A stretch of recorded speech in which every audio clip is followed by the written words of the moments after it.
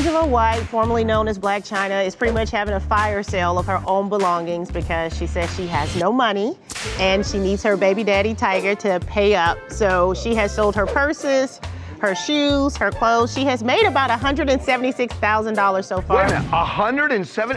What? I know. I wouldn't get that much if I sold my stuff. She should not be talking about this because the IRS is going to be like, oh, that's Yep. interesting. Well, she's saying she has to pay for her legal fees to try to get custody of her kids. So she's asking Tyga to pay the legal fees so she can fight him. This is so sad. This is confusing too because recently she said she made like $3 million on OnlyFans. I think that was a rumor. Everybody talks about like celebrities being loaded and everything.